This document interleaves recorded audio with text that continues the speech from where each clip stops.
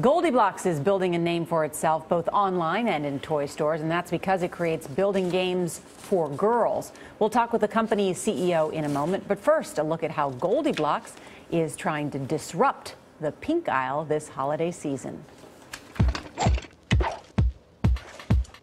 It's the girl power video that has collected more than 9 million hits on YouTube and calls on little girls to lose the dolls and start building. GoldieBlox is the new construction toy whose goal is to inspire a future generation of female engineers.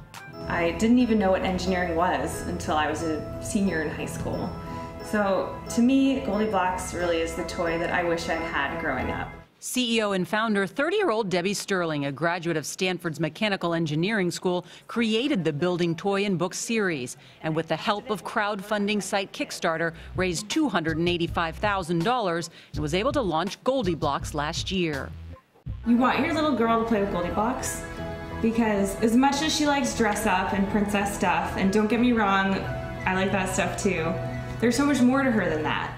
The challenge with any child is to understand what's of interest to them. So exposing them to what we say is a balanced toy box. Lots of different types of play, some technology, some traditional, some hands-on, some group, some independent.